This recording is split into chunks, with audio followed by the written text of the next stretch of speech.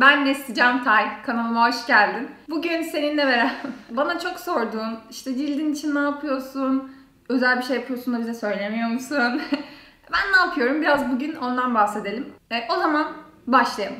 Bence e, güzel bir cilde sahip olmak için ilk önce cildimizi tanımamız gerekiyor.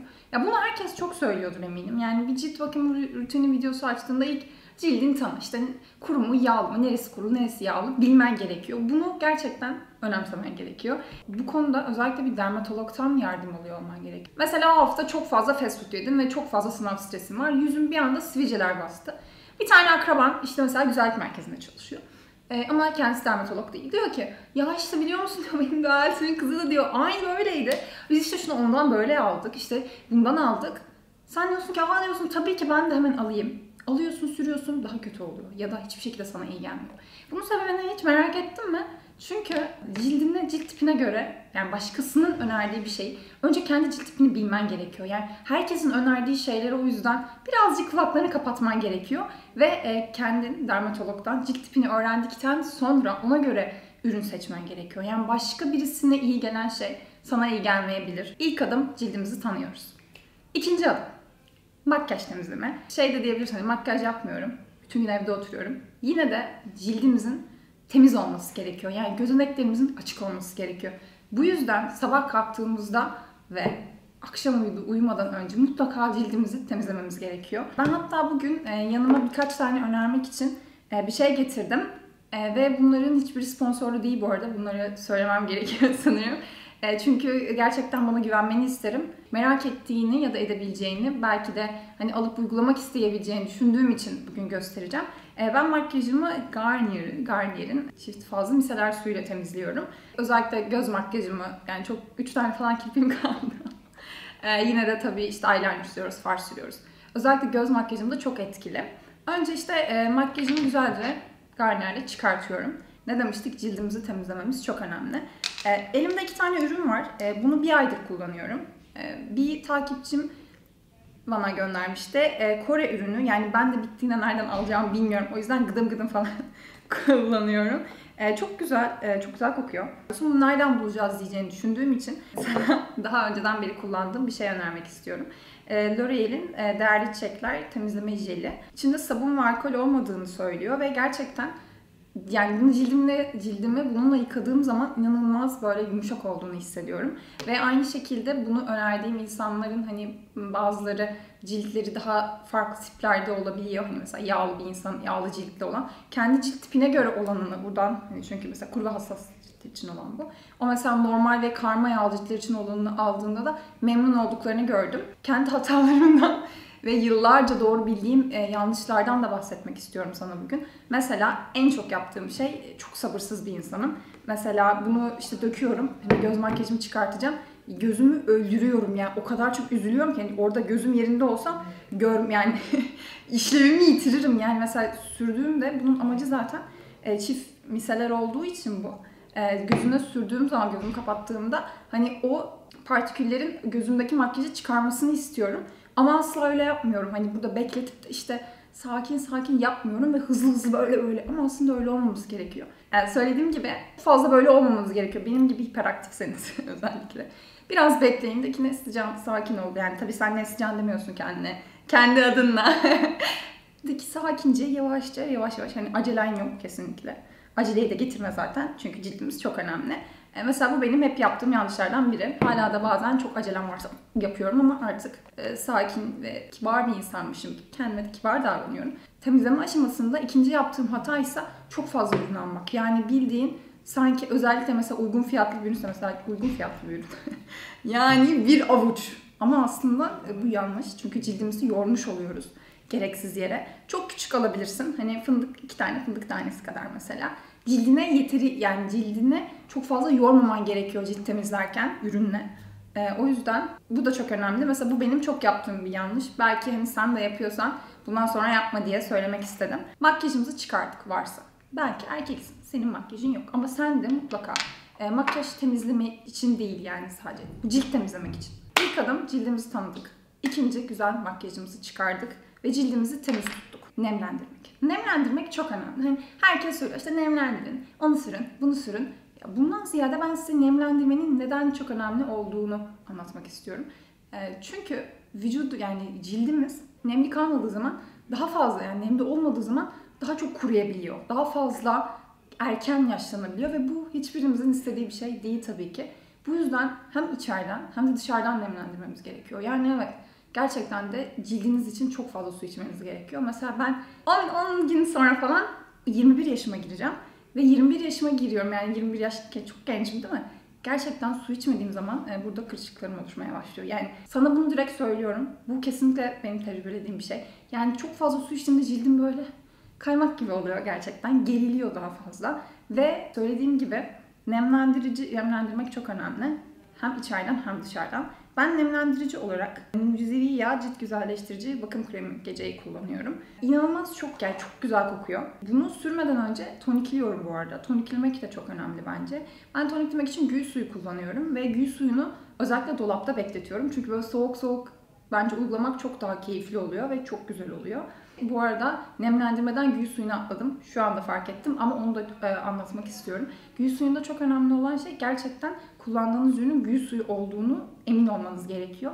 Yani mesela Rosens sanırım, e, Rosens kesin böyle okumuyor.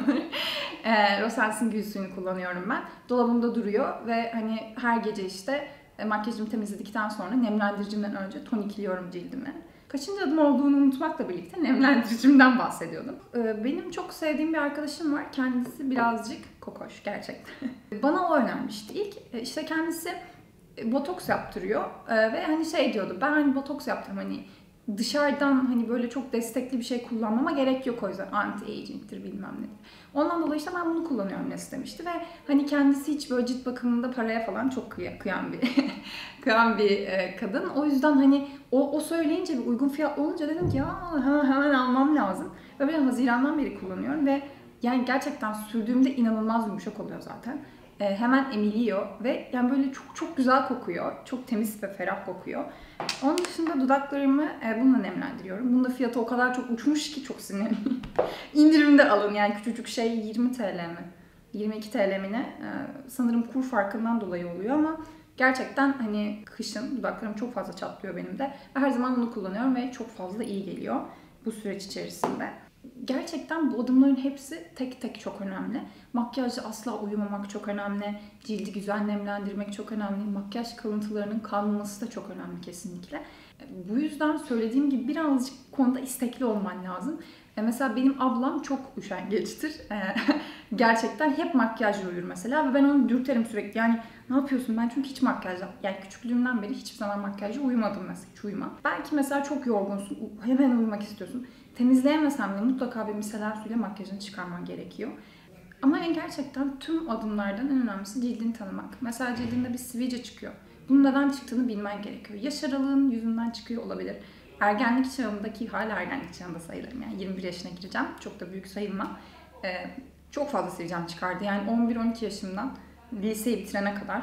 Ee, ve benim cildim çok hassas. Mesela 4, 4 tane mesela şurada çıkıyor şey e, sıra sıra dağlar gibi. Çok böyle mesela bir anda 100 tane sivilcem çıkmaz. 5-6 tane çıkardı bu reg dönemlerimde özellikle.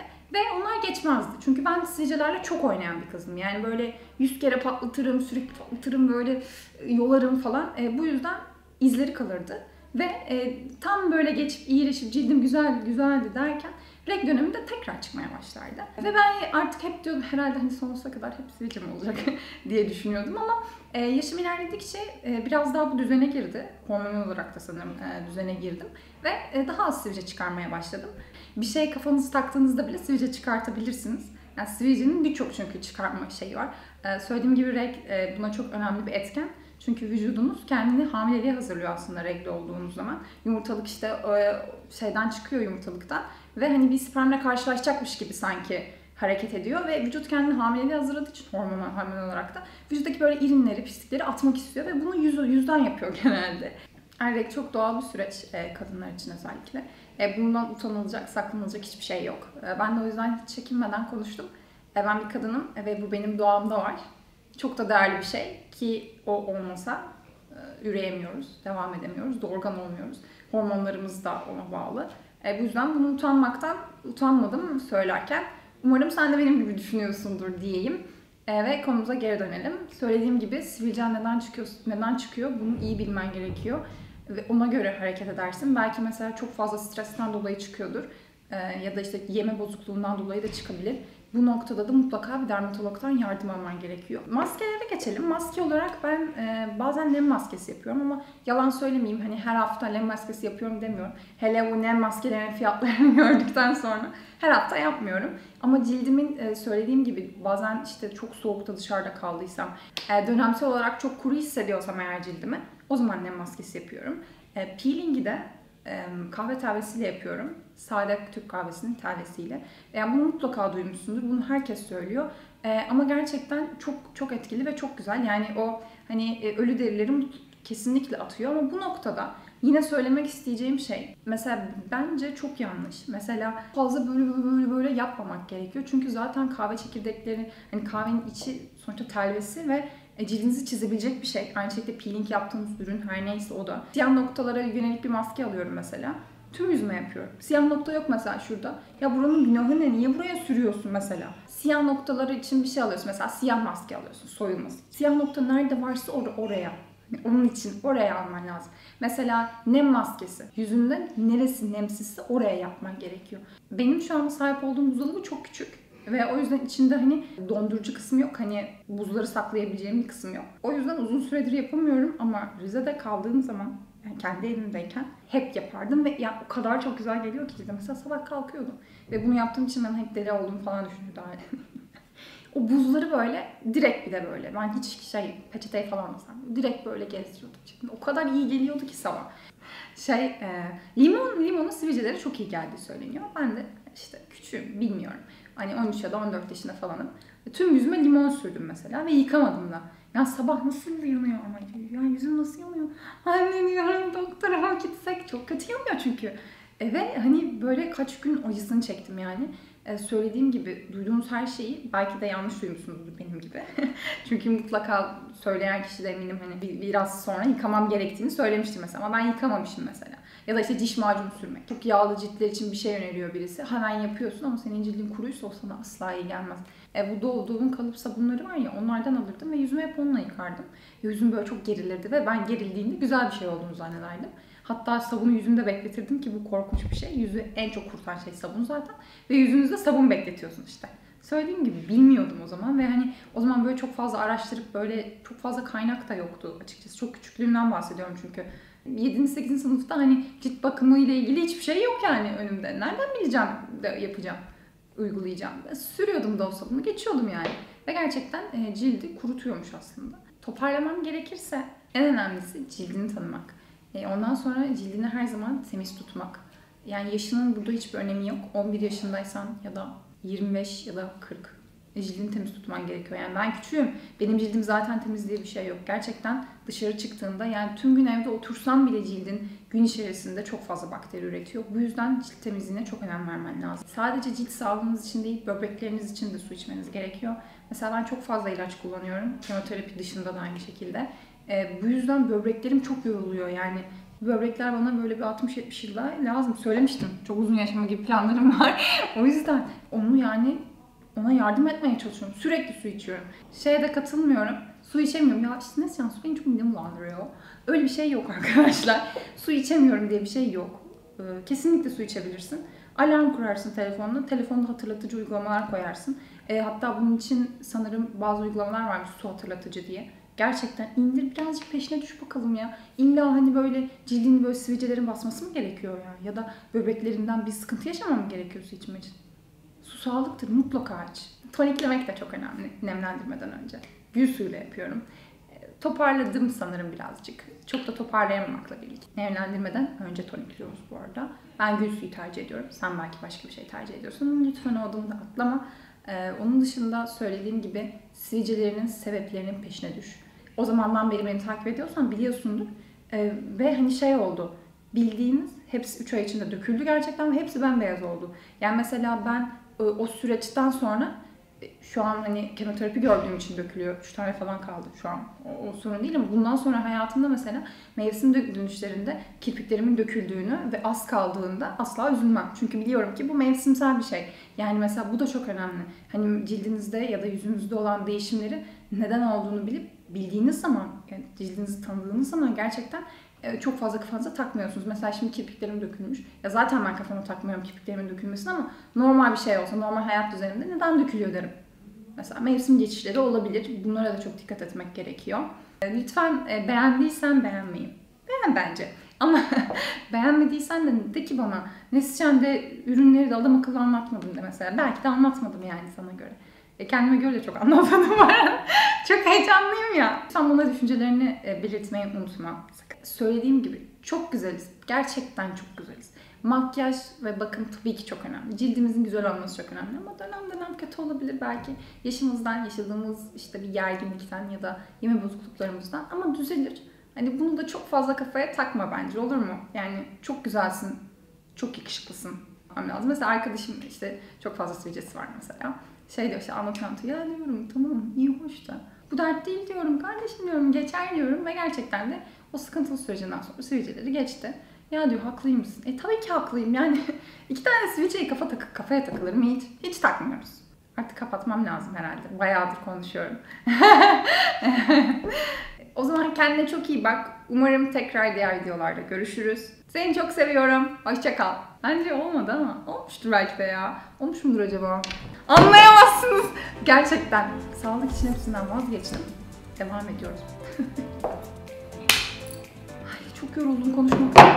Ay, ay çok kadar yoruldum. Güzel bir temizleme suyumuzu e, ona döküp ne kadar şey anlatıyorum değil mi? Gülüyor orada. Ay çok heyecanlıyım. İlk ilk ama ilk böyle bir şey anlatıyorum. O yüzden bence telefona baktım. Ay tamam.